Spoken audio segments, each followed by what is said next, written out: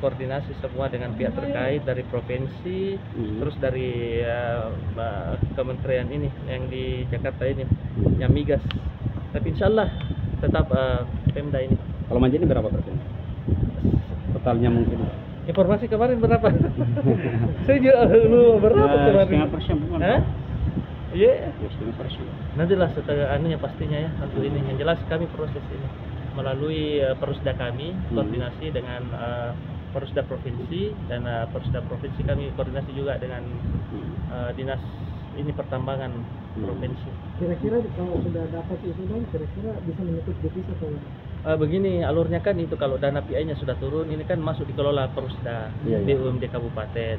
Jadi pe- perusda itu otomatis perusda ini ada rencana bisnisnya.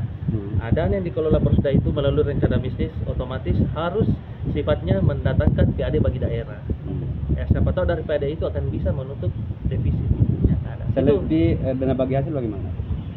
Dana bagi hasil. Iya, DBH-nya. DBH-nya. DBH tiap tahun ada Tiap untuk tahun ada ya? kabupaten. Nah, Oh. itu bisa ka- kami rencanakan ya. Salah satunya mungkin bisa untuk eh, perencanaan untuk salah satu menutup defisit juga itu. Hmm. Kalau DBH berapa? DBH relatif eh, nilainya. berapa persennya? Berapa persen? Tidak menentu sebenarnya kalau DBH kira kita menunggu dari pusat. Oh. Eh, tapi dia hitungan miliar biasanya. Hmm. Gitu. Tapi selama beberapa tahun terakhir apa sudah ada yang masuk DBH itu Minyaknya? eh, belum? belum saya belum ada info.